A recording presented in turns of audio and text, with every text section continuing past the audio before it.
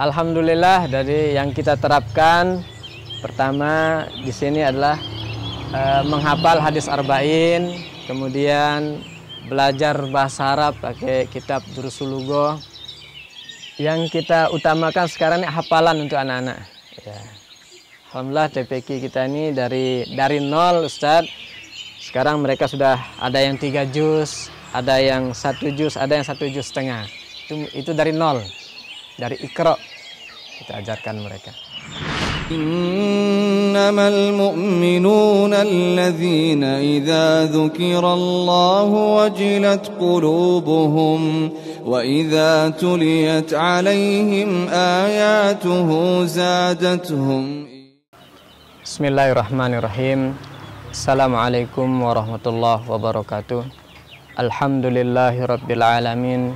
Wassalatu wassalamu ala asyrafil anbiya'i wal mursalin wa ala nabiyina Muhammadin sallallahu alaihi wasallam. Amma ba'du. Eh, nama saya Usman Yanto. Saya masuk di Al Furqan tahun 2004 sampai 2008. Dan sekarang alhamdulillah saya eh, membuka TPQ Nurul Ihsan sebagai pembina. Awal mula masuk ke Al Furqan ceritanya liburan ini ya. Jadi awalnya kita di Surabaya dulu di eh, Al Irsad mahatnya Ustadz Mubarak Bamu Mu'alim. Nah, ketika libur semester kita kan baru datang. Nah, jadi kita bingung teman-teman pada pulang ke rumah. Nah, ada yang ngajak kita ayo kita ke Al. Di sana ada teman-teman kita dari Lombok. Nah, ini awalnya kita liburan ke Al Furqan. Lama di Al Furqan sampai liburan ternyata merasa enak gitu. Nah, akhirnya kita minta izin kepada Ustadz yang di Lombok agar kita bisa dipindahkan di Al Furqan gitu. Jadi itu saja apa namanya awal cerita kita dulu masuk di Al Furqan. Alhamdulillah di Al Furqan eh, kita belajar Alhamdulillah dibimbing oleh ustadz-ustadz kita yang walaupun apa namanya eh, tantangannya seperti airnya asin dan banyak apa namanya eh, airnya asin kemudian suasananya panas juga tapi alhamdulillah ustadz-ustadz kita di sana dengan sabar membimbing kita dari sana kita belajar ilmu tauhid ilmu tentang mengenal Allah Subhanahu wa taala mengenal nama-nama Allah Subhanahu wa taala dengan kesabaran beliau mendidik kita di sana. Dulu awal ketemu sama Ustadz uh, Syekhuna Ustadz Aunur Rafiq dulu. Beliau menasehati saya karena dengan fisik seperti ini ya antum sabar di sini airnya begini kata beliau terus uh, cuacanya pun begini tapi insya Allah kalau antum belajar agama di sini Insya Allah antum akan dapatkan ilmunya katanya beliau. Sana ingat nasihat beliau dulu. Awal ketemu sama beliau. Oh, pertama kita di Nurul Hakim dulu. Eh, tahun 2000 itu masuk di Nurul Hakim. Itu masuk program khusus. Di Nurul Hakim itu ada dua program. Program pertama ada program umum, kemudian program khusus. Nah kita masuk di program khusus. Nah, paginya masuk sekolah, sorenya itu kita ngaji Fatul Majid di Ustadz Mufti Ali dulu. Nah, beliaulah yang kirim kita ke Surabaya, 10 orang dulu. Nah, untuk mondok di Al Irsad awalnya pertama gitu ya. Anak minta masuk ke Libya, beliau tidak ngasih. Asalnya kalau mau ke Libya, antum ke Al Furqan saja nasihat beliau. Karena waktu itu mungkin beliau lebih paham tentang bagaimana keadaan Libya waktu itu. Iya, setelah itu baru anak merasa nyaman menetap di Al Furqan karena kalau di Al Irsad itu kan tempat be uh, belajar sama asramanya itu kalau tidak salah kita naik beca. Nah, pulang pergi itu naik beca dan kita bayar becaknya waktu itu anak kalau tidak salah 1.500 dulu bayarnya. Jadi 3.000 tiap hari. Nah, kalau di Al Furqan kan ada asrama langsung ke uh, tempat belajar. Nah, dulu tempat belajarnya itu di sebelah asrama yang sekarang yang masjidnya sekarang mungkin dipakai sama Ahwat dulu. ya alhamdulillah masih apa namanya ada uang gitu pakai bis kalau tidak salah Oso Walong apa namanya? Lamongan itu apa? So Oso Wilangon ya Oso Wilangon gitu kita pakai. Iya. Iya naik bis dari Surabaya ke Pondok Al Furqon turun di Sedayun Sedayun uh, alun alun alun Sidayu gitu. Ah, baru naik becak ke, ke Al Furqon gitu. Belum ada sama sekali. Jadi teman-teman tuh hanya mengajak ayo kita liburan ke Al Furqon nah gitu kita belum ada gambarannya pondoknya seperti apa. Belum dulu juga belum belum kenal manhaj gitu kan. Nah, jadi awalnya hanya mau liburan ke Al Furqan, Al Furqan gitu dan, ternyata uh, di sana di Al Furqan kita merasa aman gitu.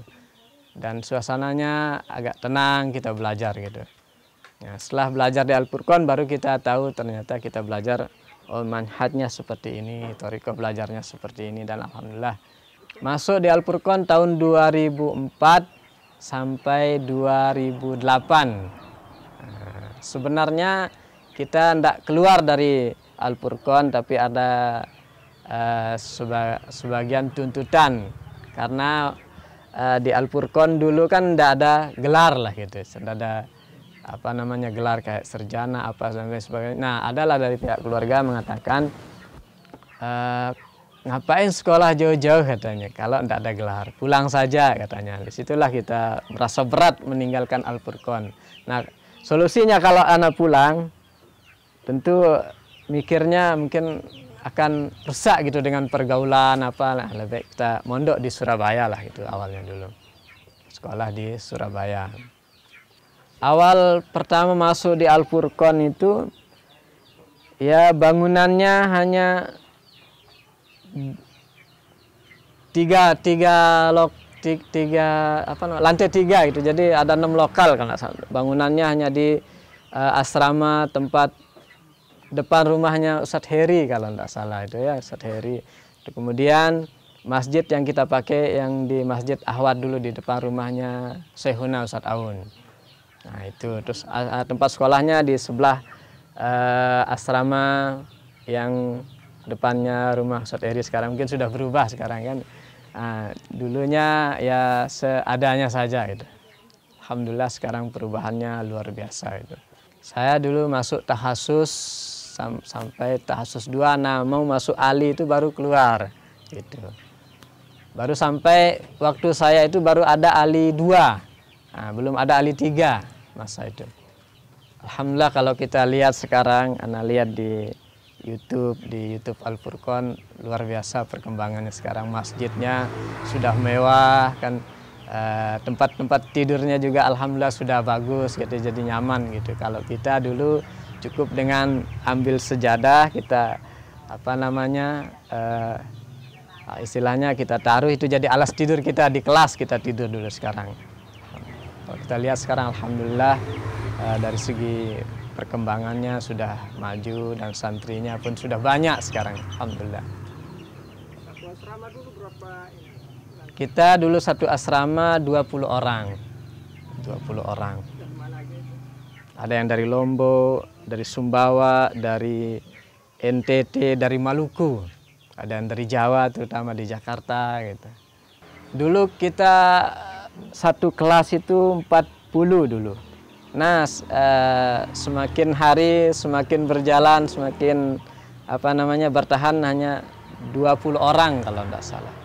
Nah, teman-teman itu sekarang ada yang di Sumbawa. Alhamdulillah Ustadz Ma'mar Sulaiman masih di Al-Furqan sekarang itu satu kelas sama saya dulu sama Ustadz Nur Halim kalau tidak salah masih di Al-Furqan sekarang Alhamdulillah se angkatan saya itu rata-rata mereka sudah bangun pondok, sudah merintis pondok, walaupun sebagian juga ada yang ikut gabung dengan pondok-pondok sunnah yang ada di Lombok, di Sumbawa, dan di tempat yang lain. Alhamdulillah eh, ke sana sekarang ya pondok semakin maju dan mudah-mudahan dengan kemajuannya ini eh, semangat santri juga belajarnya semakin giat dan selalu diberkahi oleh Allah Subhanahu wa taala. Alhamdulillah dari yang kita terapkan pertama di sini adalah eh, menghafal hadis arba'in, kemudian belajar bahasa Arab pakai kitab Durusulugo. Kemudian juga ada juga apa namanya kemarin ada bapak-bapak pemuda-pemuda juga belajar pakai kitab Mukhtarot uh, untuk belajar bahasa Arabnya. Di sini juga mereka belajar kadang malam gitu. Kemudian kalau kitab tauhidnya kita pakai usul salasa untuk menghafal matan-matannya saja dulu. Yang kita utamakan sekarang ini hafalan untuk anak-anak. Ya. Alhamdulillah TPQ kita ini dari dari nol Ustadz. Sekarang mereka sudah ada yang tiga juz, ada yang satu juz, ada yang satu juz setengah.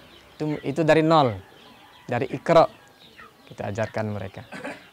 Santri-santrinya eh, yang dari Sumur Pandai ada, yang dari apa namanya Bat Pawang istilah sana di Pendua yang tanjakan selesai sebelum mau belok kanan di sana kita belok kiri. Ada juga dua orang di sana. Kemudian dari Sumur Pandai atas dua orang. Kemudian sebagiannya dari sini.